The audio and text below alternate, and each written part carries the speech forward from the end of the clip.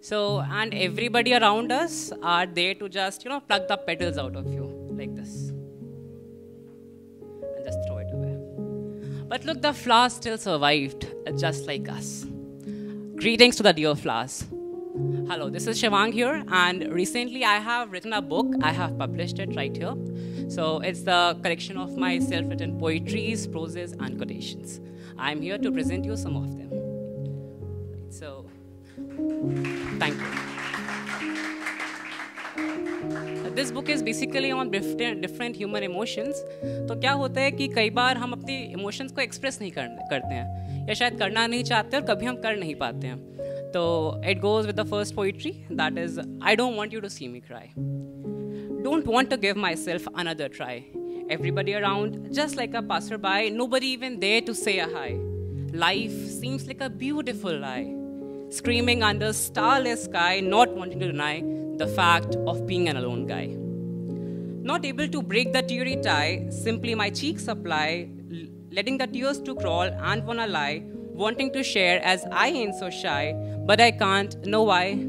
Cause I don't want you to see me cry and don't wanna give myself another try. thank you. At the end of the day, what happens is that you know you want to self reflect yourself कि whatever happen throughout the day क्या वो होना चाहिए था या नहीं? Was that meant to happen और not to मतलब किन यादों को संजो कर रखें और किन्हें भुलाने की कोशिश करें? एक it's a kind of you know thing which everyone must do कभी हम वो कर पाते हैं या कभी हम वो नहीं कर पाते हैं। तो इट्स लाइक नॉट मैंडेटरी कि आपके पास हमेशा कोई ना कोई हो जिसके साथ आप ये सब डिस्कस कर पाएँ राइट तो what you can do is you can just go into the nature and share yourself with that जहाँ पर आप कोई जज करने वाला नहीं होता है। तो it goes like staring at the moon just like have a moon some do have that time some do own that time to feel the clear of spare to choose between the die or dare and be able to shamelessly share the deeds of the day time mayor without any clueless care And let your soul to tear without any freaking fear along your sobs and tear, and trying to dust your heart looking clear, many and nobody there to hear. So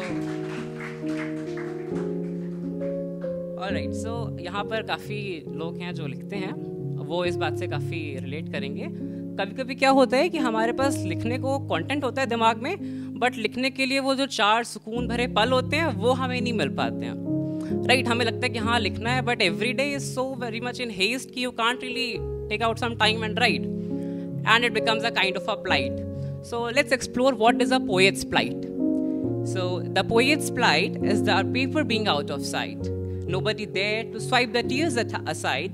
Nothing seems anywhere right, snatching your dear delight. Okay.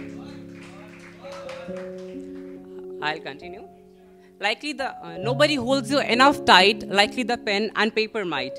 Being at a disappointing height, wanting to share the painful plight, just weeping under the starless night, somebody might rewrite what were the poets inside during those lighter nights, still nobody knows the poet's plight. Surely, I'll just uh, I'll just crown it all with a small poetry, just a little bit. कि जो poets होते हैं, what I believe is कि this all light is a filter.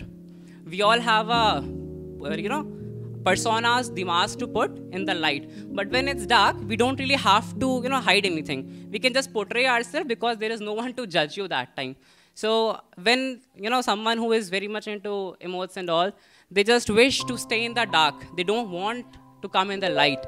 So the poetry goes that may dawn never dawn, and let me to practice my melodious melancholy mourn in this lifeless lavender lawn, creating coffins to be adorned as a wish of a love lawn may dawn never dawn.